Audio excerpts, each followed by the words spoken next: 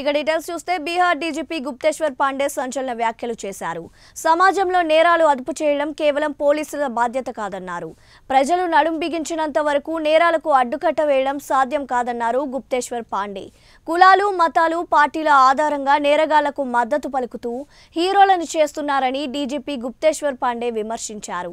Jail నుండి విడుదలైన నేరగాళ్ళకి పూలమాలలు వేస్తూ పూజలు చేస్తున్నారని పాండే గుర్తు చేశారు. आपको या तो नया नया पत्रकारिता सीख रहे हैं, या आपको सलीका नहीं है, क्या सवाल करना चाहिए? कि कौन आदमी यह दावा कर सकता है कि आज के बाद जीवन में अपराध नहीं होगा, सूबे में अपराध नहीं होगा? ये तो चूहे के बिल्ली की खेल की तरह है। अपराध होता है, अपराध होगा, पुलिस का काम है उसको रोकने की कोशिश करना, नहीं रोक का रोक सके तो उसको डिटेक्ट करना। ये कोई थप्पा देने वाला है क्या कि आज से अपराध बंद?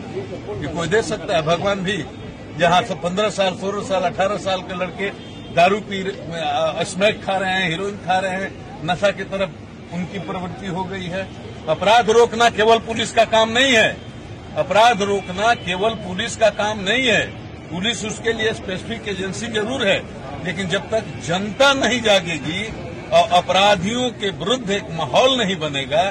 जात के नाम पर अपराधी का समर्थन करते हो, मज़हब के नाम पर अपराधी का समर्थन करते हो दल के नाम पर अपराधी का समर्थन करते हो, अपराधी को हीरो बनाते हो, उसकी पूजा करते हो, उसका स्वागत करते हो, माला पहनाते हो और अपराध रोकने की बात करते हो।